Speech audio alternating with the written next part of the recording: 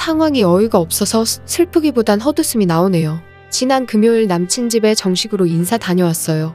30대 동갑 커플이고 4년 연애했는데 작년에 결혼 이야기가 오갔지만 코시국이라서 분위기 살피다 해가 넘어갔고 올해는 작게라도 그냥 진행하자 해서 예비 시부모님께 정식으로 인사 다녀왔어요. 처음 뵙는 건 아니고 그 전에 우연히 뵌 적은 있었어요.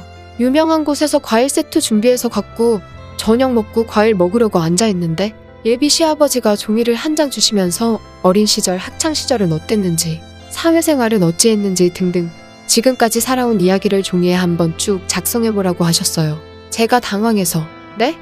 했더니 우리가 새로운 가족이 되니 며느리가 어떻게 자라온지 궁금하고 알고 싶기도 하다고 자소서라고 생각하면 된다고 이렇게 말씀하시더라고요. 그리고 월급을 받으면 돈은 어떻게 사용하는지 재테크는 어떤 방법으로 하고 있는지도 같이 적으라고 하셨어요. 남친 표정 보니 남친도 모르고 있었는지 당황한 듯 웃으며 아, 나도 예비 처가 부모님 뵈러 갈 때 드리게 같이 써야겠다. 하면서 종이를 갖고 오더라고요.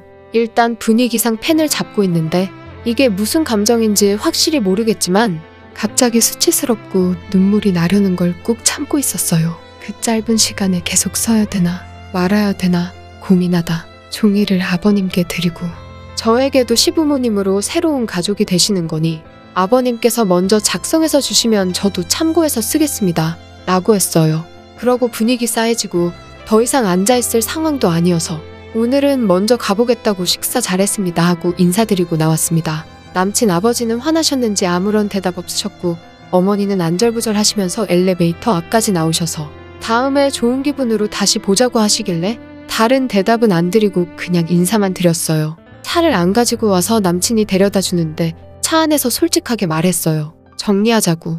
남친이 아버지는 그 뜻이 아니고 그냥 저에 대해서 알고 싶고 은행 다니셨으니까 예금 관리 조언도 해주시고 하려고 그런 거라고 말하던데 그건 처음 인사관 자리에서 할 얘기도 아니었고 내가 아니라 해도 너 집에 가면 아버님이 먼저 그만두라고 하실 거라고 그냥 정리하자고 했어요. 머리 아프니까 가타부타 더 말하지 말라고 일단 정리한다고 알고 너도 너희 집에 말하고 나도 우리 집에 말하고 그냥 정리하면 되는 거랬더니 주말 내내 연락 오는데 생각 정리되면 연락한다고 했습니다. 문득 문득 그때 그 눈물이 나려고 했던 감정이 생각나서 화가 납니다. 아니 논술 전형 예비 시부모는 또 난생 처음 듣네요. 글빨 딸리면 결혼 못하는 건가요? 이 와중에 덱도 어디 한번 써보라는 쓰니 똑 부러져서 마음에 들어요. 우리 딸을 이렇게 똑 부러지게 키우고 싶어요. 잘했어요. 결혼 전부터 절이 나오는데 결혼 후 어찌할지 훤히 보이네요. 그 자리에서 아버지 바로 제지하지 않은 남친이라니 끝낸 거 정말 잘한 거예요. 은행은 다니셨지만 사람 만나는 법은 모르시네요. 아니 무슨 일만 생기면 다 서면 제출이야? 선 보는 자리가 왜 지들만 며느리 평가하고 알아보는 자리라고 생각하는지 몰라요. 며느리도 시부모 평가하는 자리인데 아직도 이 시대에 이런다니 한심하네요. 우선 저는 아들, 딸 가진 부모인데요. 거기서 어쩌지 하면서 종이에 글 적고 분위기 맞추고 앉아있지 않아줘서 고마워요. 내 딸이 내 아들이 처음 인사관 자리에서 그런 대접 받으며 앉아있었다면 밤에 몰래 울었을 거예요. 부모로서 상대방 집에서 무시당하고 온 내 자식 생각하면 마음이 아파서요. 여러분의 생각은 어떠세요? 의견을 댓글로 남겨주세요. 시청해주셔서 감사합니다.